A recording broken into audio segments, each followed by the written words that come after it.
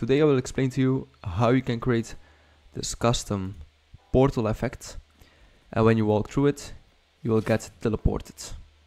You can place the portals where you want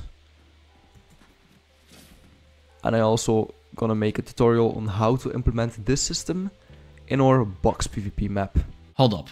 Let me stop you for 10 seconds and remind you that our new box PvP template is officially out, where you can create your own unique superpower box PvP in under 5 minutes. In this pack, there are 25 superpowers that will definitely impress your players.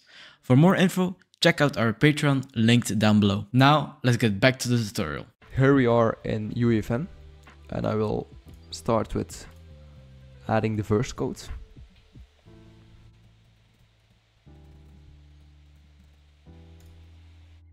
Now we can simply copy and paste the code from our Discord server and you can find the link in the description. In this code we have two teleporter device and two VFX spawners and then one uh, signal remote manager. Uh, then on the first click of your signal remote, your first portal will be made and then on the right click, your second portal will be made. And the first portal is connected to this VFX and the second is connected to the other one. Now we also have a variable, the distance to teleport, and this is how far the portal needs to teleport. And you can set this to a lower or a higher number to your preference. It's actually a very simple system. We are getting the position of the player in this line. And then we are teleporting the teleporter and the VFX at that location. Now we will build the verse code go to the content browser, drag the creative device inside your world. So here you see we need to have two teleporters and two VFX spawners and also a signal remote so let's grab those.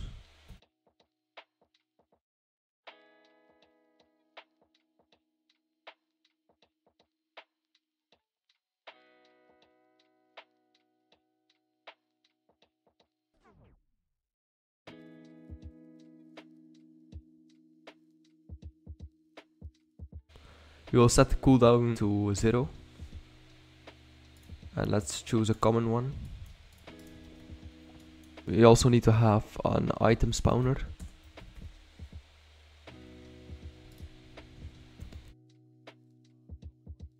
Uh, so you also need to have a common one because otherwise when you click on the remote nothing will happen. Now inside the um, VFX effect we're gonna enable a custom visual effect. If you're a buyer from our box PvP template, you will receive the custom portal VFX.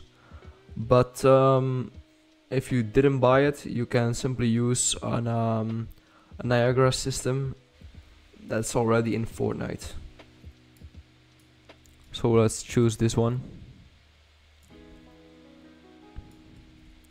And now we just need to connect the portals, the VFX spawners, and the signal remote and then here you see the distance. So let's say 600 or 500 um, and then also what I do is I set the rifts to invisible.